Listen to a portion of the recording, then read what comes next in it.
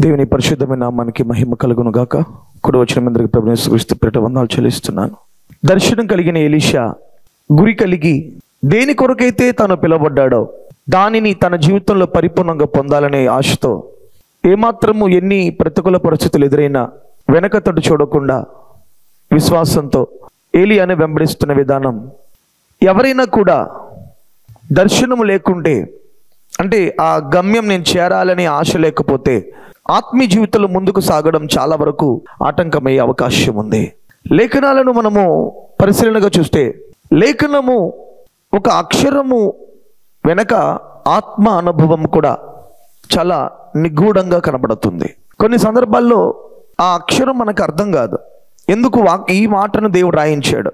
ఈ మాటకు ఉన్నటువంటి తాత్పర్యం అర్థం ఏంటి అని మనకు గ్రహింపలేం. దీని గురించి కొరిందిలతో పౌలంటాడు అక్షరము చంపును ఆత్మ జీవింప చేయును అక్షరాన్ని అపార్థం చేసుకునే అవ అనేటువంటి ఆవశ్యకత ఎంతో ఉంది. చాలా మట్టుకు అందరూ ఆ అక్షరాన్ని అంటే ఒక వచనము అపార్థం చేసుకునే అవకాశం ఎంతో ఉంది. అవకాశం అపార్థం చేసుకుంటున్నారు కూడా.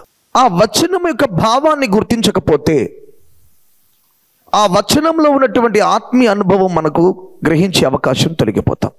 కొరిందులతో పౌలు అదే అంటున్నాడు అక్షరము చంపును ఆత్మ జీవింపజేస్తుంది.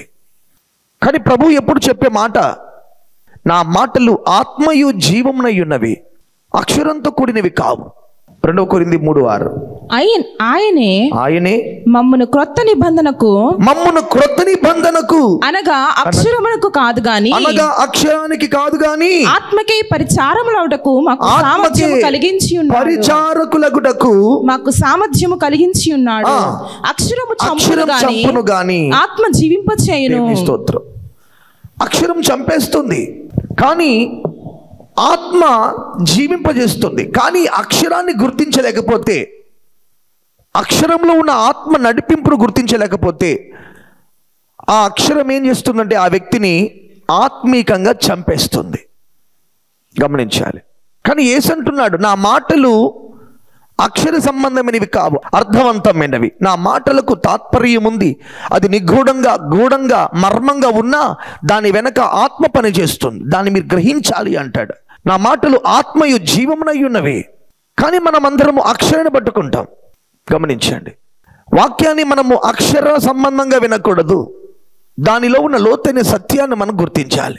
దానిలో ఉన్న లోతును మనం గ్రహిస్తేనే ఆత్మ అనుభవంలోనికి మనం ముందుకు వెళ్ళే అవకాశం మనకు దొరుకుతుంది. దేవుని మనకి మహిమ కలుగును గాక ఎలీషా అంటున్నాడు నీవు నన్ను తీసుకువచ్చినది సత్యం. కానీ ఇక్కడ గిల్గాలాగం అంటున్నావు లేదా బేతులాగమంటున్నావు ఎరుకులాగిపోమంటున్నావు కానీ నువ్వు తీసుకొచ్చిన పని నాలో ఇంకా సంపూర్ణం కాలేదు. కనుక నేను ఎక్కడ ఆగను నేను వెంబడిస్తాను.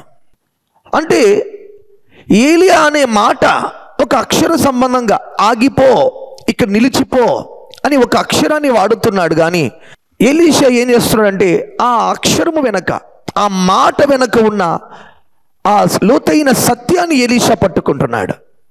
దాని అర్థాన్ని గుర్తిస్తున్నాడు. ఎందుకు ఆగమంటున్నాడు ఇక్కడ? ఇది నిజమైన మాట ఏనా నన్ను పరిశోధిస్తున్నాడా? లేక నన్ను పరీక్షిస్తున్నాడా? నా విశ్వాసానికి ఇది పరీక్షనా? నా ఆత్మీయతకు ఇది పరిశోధననా? వెంటనే గుర్తిస్తున్నాడు. గిల్గాల్లో ఆగమంటే ఆగనంటాడు. బేతులు ఆగమంటే ఆగనంటాడు. ఎరుకలు ఆగమంటే ఆగనంటాడు. యహోవా జీవంతోడు నీ జీవంతోడు నేను ముందుకే ప్రయాణం చేస్తాను కానీ ఆగను అంటున్నాడు. అంటే అర్థం ఏంటి? ఆ మాట అక్షర సంబంధంగా ఒక మాట చెప్పినా కానీ ప్రిలార గమనించండి ఎలిషా ఆ మాట యొక్క అర్థాన్ని గుర్తిస్తున్నాడు. ఆ యహోవా చెబితే గేల్గాల్లో ఆగుతా. ఆ యహోవా చెప్తే బేతేల్లో కూడా ఆగుతా. ఆ యహోవాయో చెప్తే ఎరుకలో కూడా ఆగుతా. కానీ ఆయన చెప్పలేదు కదా. మనలాంటి వాళ్ళు అయితే అనుకోండి మనమైతే మనమైతే ఏం చేస్తాం? అదే స్థానంలో ఏలీషా స్థానంలో నేను కానీ నువ్వు కానీ ఉంటే ఏం చేస్తాం? అమ్మో పాస్టర్ గారు చెప్పారు కదా ఇక్కడ ఆగిపోదాం. ఇక్కడ ఆగిపోదాం. కానీ ఆగిపోతే ముందు వచ్చే నష్టాన్ని మనం అదంతా ఆలోచించం. ముందు దృష్టి లేదు మనకి దర్శనం లేదు. మనకేంటి? ఆ అయ్యగారు చెప్పారు కదా ఓకే. దేవునికి స్తోత్రం. ఎలిష ఎంత లోతైన జ్ఞానం కలిగిన వాడుగా గ్రహిస్తున్నాడు ఇక్కడ. ఈ మాట ఏలియా చెబుతున్నాడు కానీ యహోవా చెప్పడం లేదు. కాబట్టి ఏలియా చెప్పిన ఈ మాట అక్షర సంబంధమైనది. కానీ ఎలీషా ఆ మాటలో ఉన్న తాత్పర్యాన్ని గుర్తించి వెంటనే జవాబుగా ఏమిస్తున్నాడంటే యహోవా జీవంతుడు యహోవ మీదన ఒట్టు నీ మీద కూడా ఒట్టు. అంటే అర్థం ఏంటి? నన్ను ఆగమని చెప్పడానికి నీకు అధికారం లేదు? దేని స్తోత్రం? అసలు గురువుకి సవాల్ చేసేవాడు బైబిల్ చరిత్రలో ఎలిషా తప్ప ఎవడూ లేడండి. ఈ సవాలు ఈ సవాల్ దేనికోసం? ఆయన్ని తగ్గించడానికి కాదు తనకు దొరకవలసినది పొందడం కోసమే. ఒకవేళ అది తప్పుగా అనుకుంటే ఏలియా అక్కడే అతన్ని గద్దించేవాడే. యెహోవా జీవంతుడు నా జీవంతుడు అంటున్నావేంటి? నా మాట విని ఇక్కడ ఉండాలని అని గద్దించాల్సిందే. కానీ ఎప్పుడైతే ఈ మాట అంటున్నాడో వెంటనే ఏలియా కూడా సంతోషపడుతున్నాడు. దేవునికి స్తోత్రం. ఎందుకు ఈ మాట అంటున్నా అండి పిల్లరా? అక్షరం చంపును ఆత్మ జీవింపు చేయను. నన్ను వెళ్ళమంటున్నాడు నేను ఇక్కడ ఉండమంటున్నాడని ఎలి అనగానే ఇక్కడే ఉండుంటే అతని ఆత్మ ఫలవంతముగా కాక నశించిపోయేది. కానీ ఆ అక్షరము వెనక ఉన్న ఆత్మ అనుభవాన్ని గుర్తించినాడు గనుక ఎలిషా ఏం చేశాడు? యహోవా జీవంతోడు నీ జీవంతోడు నేను ముందుకే వెళ్ళిపోతాను.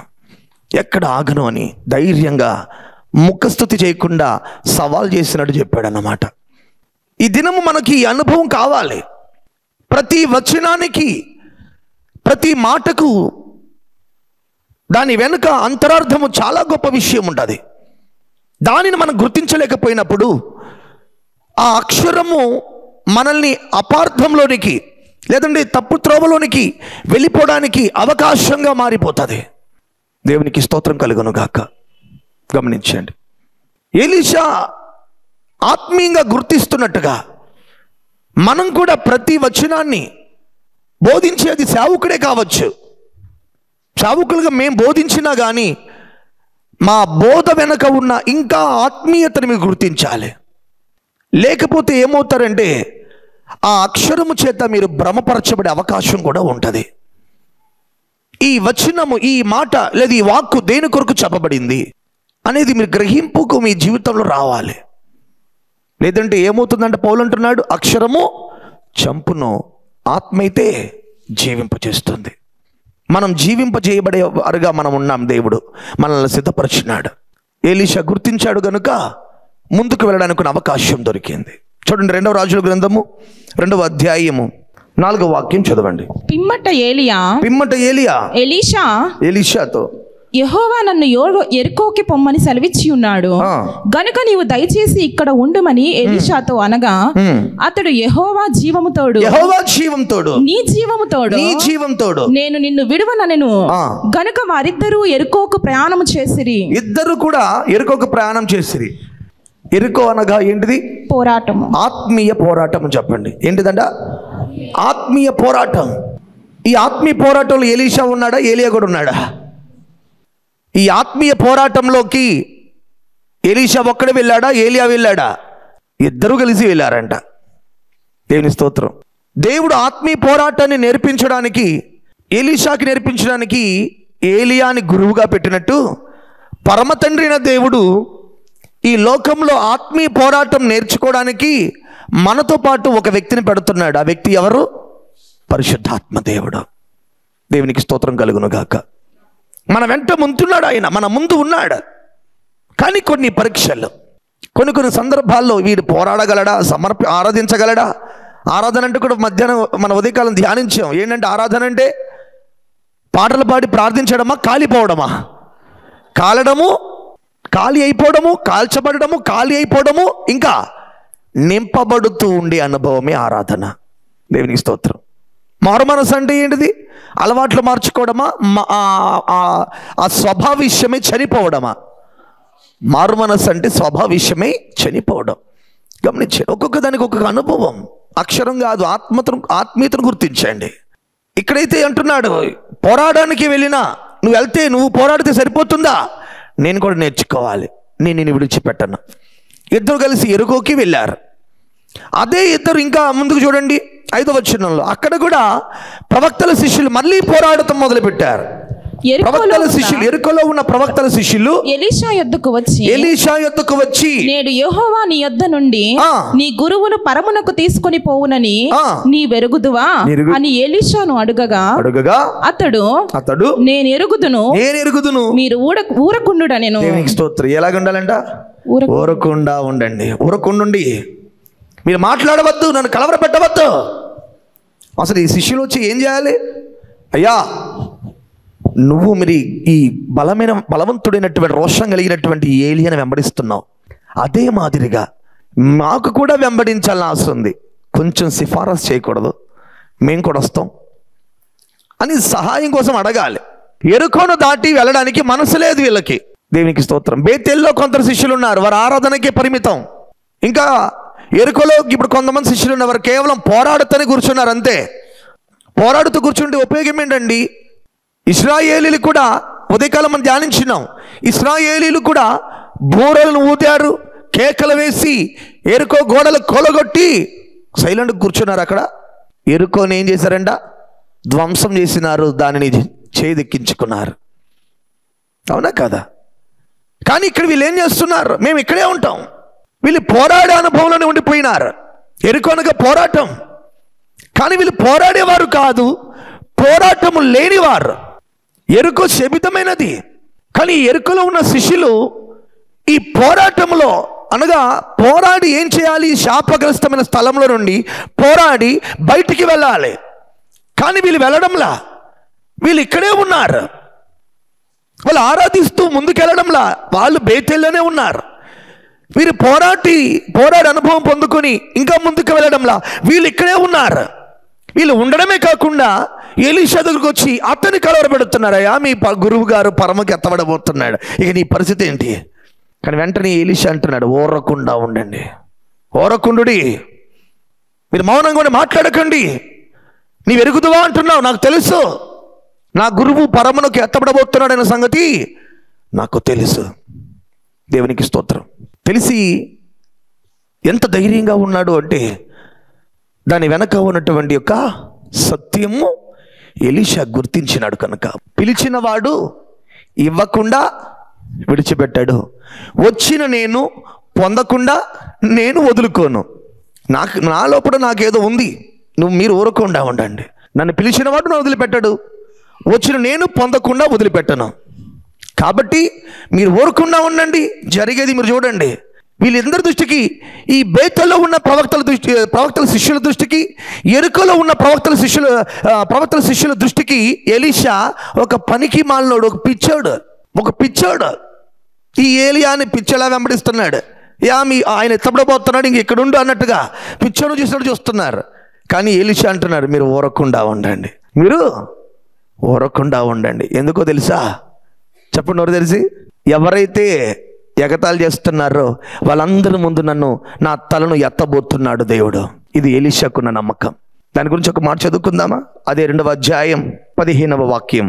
ఎరుకో దగ్గర నుండి కనిపెట్టుచున్న కనిపెట్టుచుండిన ప్రవక్తల శిష్యులు ప్రవక్తల శిష్యులు అతన్ని చూచి అతన్ని చూచి ఏలియా ఆత్మ ఏలియా ఆత్మ ఎలీషా మీద నిలిచి ఉన్నదని చెప్పుకొని అతన్ని ఎదుర్కొనబోయి అతన్ని ఎదుర్కొనబోయి అతనికి సాష్టాంగ నమస్కారము చేసి స్తోత్రం. ఏం చేశారంట? ఆ, ఏలైతే చూపించిన వాళ్ళు భయపెట్టిన వాళ్ళు కలవబెట్టిన కలవరపడి కలవరపరిచిన వాళ్ళు ఇప్పుడు ఏమైపోయినారు? ఏలిష వస్తూ ఉంటే సాగిలపడి సాష్టాంగ నమస్కారం చేస్తున్నారంట. ఇది ఏలియాషా ఏలిషాకున్న ధైర్యం. మీరు అందుకని అంటే ఏమంటున్నాడు? ఆయన ఎత్తబడతాడని నాకు తెలుసు కానీ మీరేం చేయాలి? ఊరకుండుండి. దేవునికి స్తోత్రం.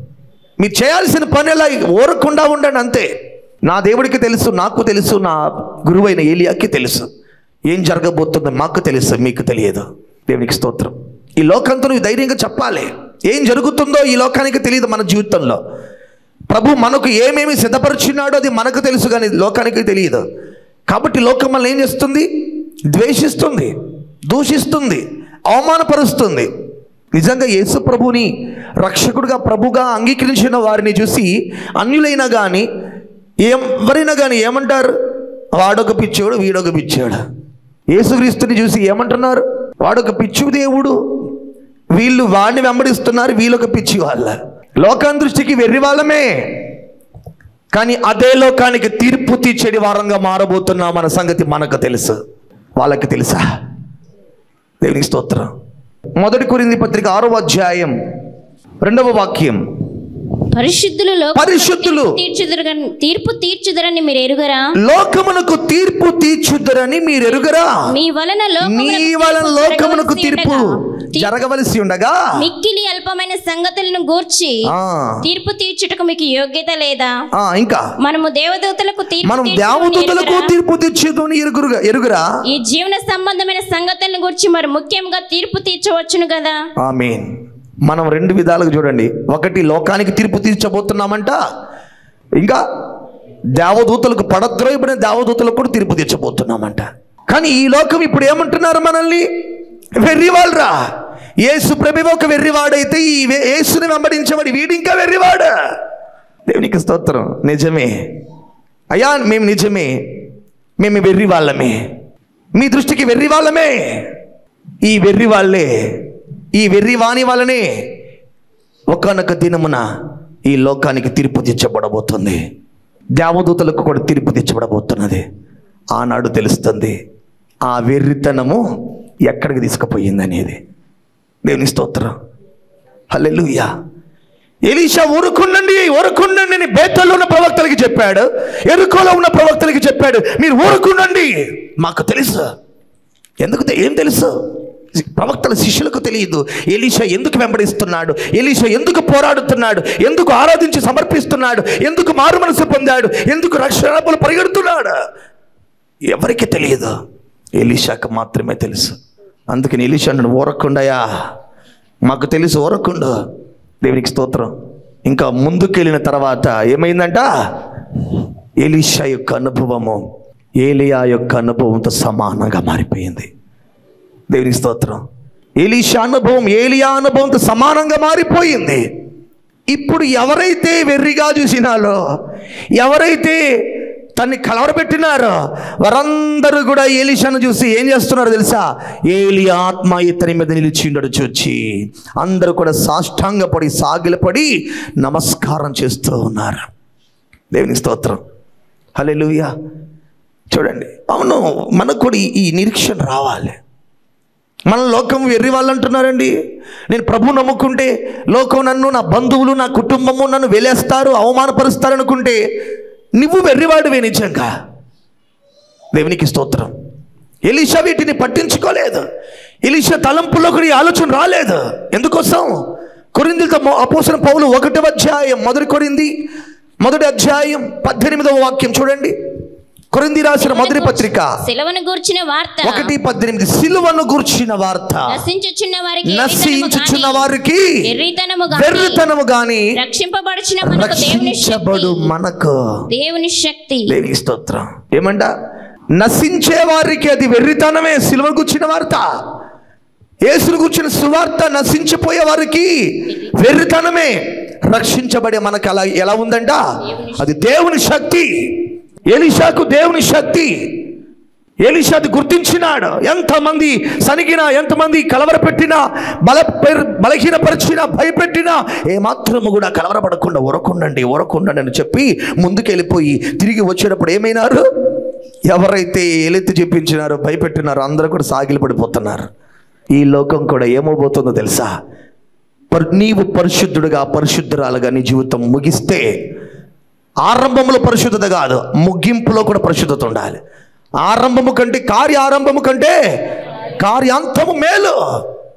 దేవునికి స్తోత్రం.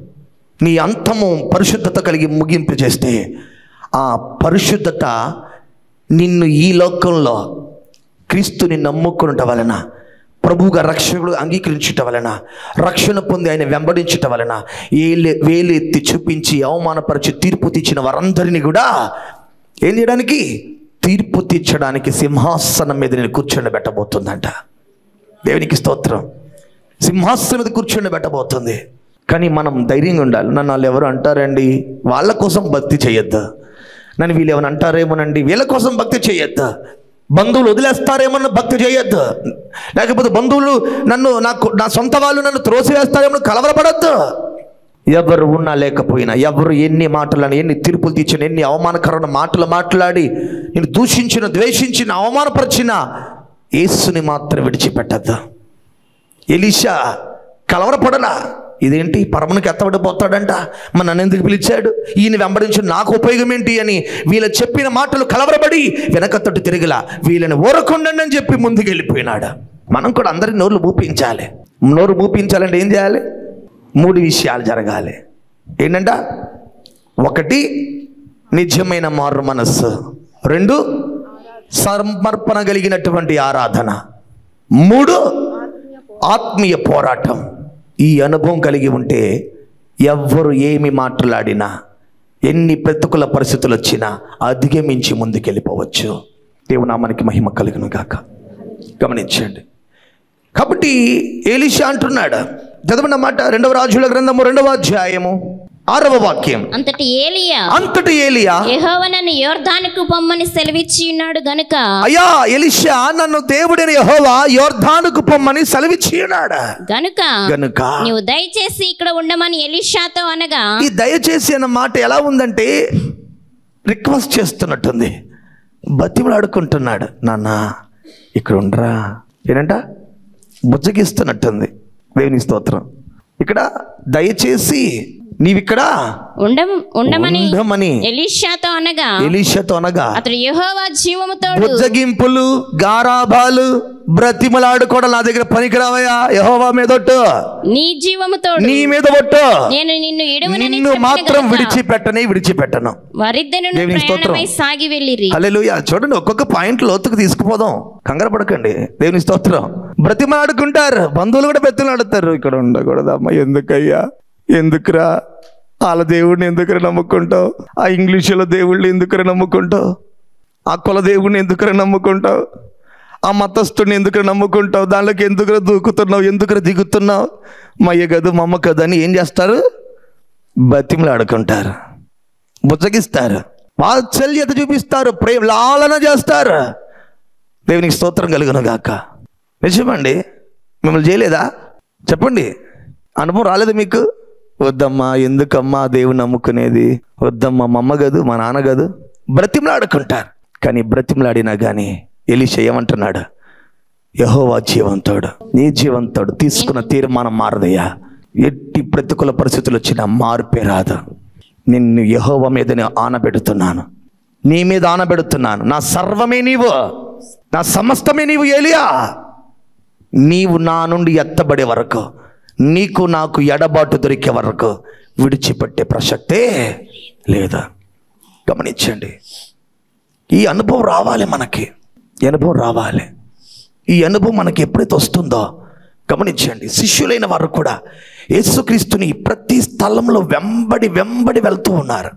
ఒక మరణం దగ్గర మాత్రం భయపడిపోయారండి.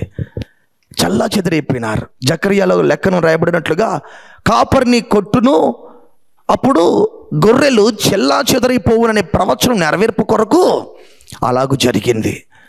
శిష్యులు యేసుని సిలువకి వేయడానికి తీసుకుపోయినప్పుడు శిష్యులు పారిపోయినారు. కానీ ఒక్క యోహాను మాత్రం. ఎవరంట? అపోస్తుడైన యోహాను. ప్రకటన గ్రంథము సువార్త పత్రికలు రాసిన ఈ యోహాను మాత్రము యేసు వెనకాలే ఉన్నాడు. యేసు వెనకాలే ఉన్నాడు. గమనించండి. ఎలాంటి ప్రతికూల పరిస్థితి? ఒకవేళ ఈయన కూడా ఏసుక్రీస్తు యేసుక్రీస్తు శిష్యుడని తెలిసి పట్టి కొట్టి చెరసాల వేసి చంపేసినా కూడా అసలు అడిగే వాళ్ళు ఎవరు లేరు. కానీ యోహానికి భయం లేదు. ఎందుకోసం అంటే ఈ యేసుక్రీస్తు ఎవరో ఆయనకి సత్యం తెలిసింది. శిష్యులకి సత్యం తెలిసింది. యోహాను సువార్త ఆరో అధ్యాయము అరవై ఆరవ వాక్యం త్వరగా చదవండి. అప్పటి నుండి ఆయన శిష్యులలో అనేకులు వెనుక తీసి మరి ఎన్నడూను ఆయనను వెంబడింపలేదు. కాబట్టి యేసు కాబట్టి యేసు ఏసు అంటున్నారు. మీరు కూడా వెళ్ళిపోవాలని ఉన్నారా? తన శిష్యుల వైపు చూసి అంటున్నారు మీరు కూడా వెళ్ళవలనని ఉన్నారా?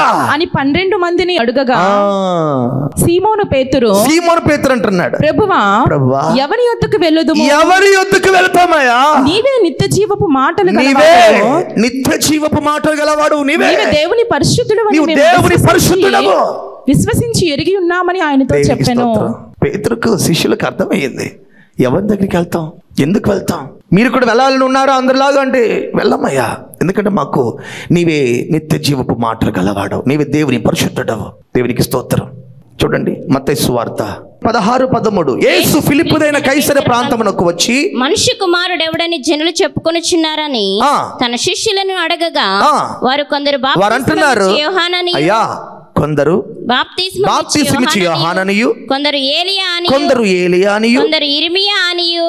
లేక ప్రవక్తలలో ఒకడనియు చెప్పుకొనుచున్నారని ఆ. అందుకాయన అందుకు ఆయన అంటున్నారు. మీరైతే నేను ఒక నిమిషం. వాళ్ళైతే ఫిలిప్పుదైన కైసర ప్రాంతానికి వచ్చినప్పుడు నన్ను ఏమనుకుంటున్నారంటే పలానా పలానా అనుకుంటారు ఏలియా ఇరిమియా బాప్తిస్మిచ్చి యోహాను పలానా పలానా అనుకుంటున్నారు. సరే వాళ్ళైతే ఇలా అనుకున్న మీరైతే నన్ను ఏమనుకుంటున్నారంటే వెంటనే శిష్యుడైనటువంటి పేతురు అంటున్నాడు పదహారు వచ్చినంలో అందుకు సీమోని పేతురు నీవు సజీవుడు దేవుని కుమారుడమైన క్రీస్తు అని చెప్పెను. ఏమంట? నీవు సజీవుడు- సజీవుడువైన దేవుని కుమారుడువైన క్రీస్తు. అని. చెప్పెను. కానీ లోకానికి ఇది అర్థమైందా? ఆయన ఒక వడ్లవాని కుమారుడని అక్కడ ఆనా- ఆనాడు ఆ మాట్లాడినారు ఈ లోకానికి అది అర్థమైందా ఈ లోకానికి ఇప్పటికీ కూడా అర్థం కాలేదు. ఇప్పుడు కూడా ఏమంటారంటే ఈ యేసుక్రీస్తు మాల దేవుడు మాదిక దేవుడు అంటున్నారు కానీ ఈయనే సృష్టికర్త సత్యం ఎవరికి అర్థం కాలేదు. అర్థమైన వాడు ప్రతి ఒక్కరు మోకరించి కన్నీళ్ళు పెడుతున్నాడు అర్థం కాని వాడు పరికి మారిన మాటలు మాట్లాడుతున్నాడు. తెల్లవాళ్ళ దేవుడు అంటాడా? నల్లవాళ్ళ దేవుడు అంటాడా? కుల దేవుడు అంటాడు మత దేవుడు అంటాడా? వాడికి అర్థం కాలేదు. వాడి నేత్రలు ముయ్యబడిపోయినవి. తెరవబడిన వాడు అంటాడు ఏమంటా? నువ్వు సజీవుడువైన దేవుని కుమారుడువైన క్రీస్తువయ్యా. మేము ఎక్కడికి పోతాం? నువ్వు నిత్య జీవపు మాటలు కలిగిన దేవుడవు. నువ్వు బ్రతికించడానికి వచ్చావు. ప్రీస్తలాడు పిలాతకే అర్థం కాలేదండి. అంత గొప్ప రాజ్యం వెలుబడి చేసిన పిలాతకే. నువ్వు రాజువా? ఏమంటా? నువ్వు రాజువా? నువ్వు రాజువైతే ఒక్క మాట చెప్పు. నిన్ను విడిపించడానికి అధికారం నాకుంది. ఏసేమన్నాడు తెలుసా? పైనుండి అధికారం వస్తేనే కానీ నీవు కూడా నన్నేం చేయలేవు తెలుసా అంటే ఆ ఒక్క మాటకి పిలాత్తు వెంటనే మౌనమైపోయినాడా. దేవునికి స్తోత్రం కలుగును గాక. హలేలుయా ఏసంటున్నాడు నువ్వు రాజువా? అవును నేను రాజునే. సత్యమును గురించి సాక్ష్యమించుడకు ఈ లోకమునకు వచ్చి తిని సత్య సమ్మని ప్రతివాడు నా మాట వింటాడు. దేవునికి స్తోత్రం. యోహాను సువార్త పద్దెనిమిదవ అధ్యాయం ముప్పై ఏడవ వాక్యం. అందుకు పిలాతు అందుకు పిలాత నీవు రాజువా? రాజువా? అని ఆయన అడుగగా అని ఆయన అడుగగా యేసు. నీవన్నట్టు నేను రాజునే. కులాన్ని స్థాపించడానికి కాదు మతాన్ని స్థాపించడానికి కాదు గుంపును కట్టడానికి కాదు ప్రతివాని గుండె లోపల దేవాలయాలుగా మార్చడానికి ప్రతివాని జీవితాన్ని దేవాలయాలుగా మార్చడానికి వచ్చాడు ఆయన. ప్రతి పాపిని పరిశుద్ధపరచడానికి పాపపు జీవితం నుండి మరణపు ఊపిలో నుండి లేపడానికి వచ్చినవాడు ఆయన. కానీ లోకానికి అర్థం కాల. ఏమంటున్నారు? ఏమంటున్నారు లోకం ఇంకా? ఏలెత్తి చూపిస్తూనే ఉన్నారు. అర్థమైన వాళ్ళు ఏం చేస్తున్నారు? సజీవుడైన దేవుని కుమారుడయ్యా. ఆయన మెస్సియా. ఆయన క్రీస్తు ఆయన రక్షకుడు ఆయన నిత్య జీవం ఆయన పరిపూర్ణుడు అని అర్థమైన వారు గ్రహించుకుని సత్యం చెప్తున్నారు. అర్థం కాని వారు ఏం చేస్తున్నారు? దేని స్తోత్రం కలిగిన గాక. ఏలి అంటున్నాడు దయచేసి నువ్వు ఇక్కడుండు. మన వల్ల కూడా అందరూ అంటారు బతిమలాడుకుంటారు. ఎందుకు ఆ దేవుని ఎందుకురా? ఆ దేవుని ఎందుకురా? ఆ దేవుని ఎందుకు? ఎందుకంటే వాళ్ళకి ఇంకా అర్థం కాల. మొదటి కొరింది పత్రిక రెండవ అధ్యాయం. ఎనిమిదవ వాక్యం. మొదటి కొరింది రెండవ అధ్యాయం ఆరు నుండి చదవండి. పరిపూర్ణులైన వారి మధ్య పరిపూర్ణులైన వారి మధ్య జ్ఞానమును జ్ఞానమును. బోధించుచున్నాను. ఈ లోక జ్ఞానము అది. లోక జ్ఞానము కాదు. నిరర్ధకులై పోవచ్చున్నా ఈ లోకాధికారుల జ్ఞానము కాదు గాని దేవుని జ్ఞానము. మర్మమైనట్టుగా బోధించుచున్నాము. ఈ జ్ఞానము మరుగైయుండెను. ఈ జ్ఞానం మరుగై ఉండెను జగదుత్పత్తికి ముందుగానే ఇది జగదుత్పత్తికి ముందుగానే దేవుడు తన దేవుడు తన మహిమ నిమిత్తమై నియమించెను. నియమించాడా? అది లోకాధికారులలో ఎవరికి తెలియదు. దేవుడు తన మహిమ కాదంట మన మహిమ నిమిత్తమే. దేని స్తోత్రం. దేవుడు మన మహిమ నిమిత్తమై నియమించెను. నియమించిన. అది లోకాధికారులలో ఎవరికి తెలియదు. అది వారికి తెలిసి ఉండి అది వారికి తెలిసి ఉంటే మహిమా స్వరూపియగు ప్రభువును మహిమా స్వరూపియగు ప్రభువును సిలువ వేయకపోయి ఇద్దరు లోకాధికారులకు అర్థం కాల. లోకాధికారులకు అర్థం కాదు అర్థమైతే? ఆ మహిమా స్వరూపియగు క్రీస్తుని సిలువేక ఉంటారంట.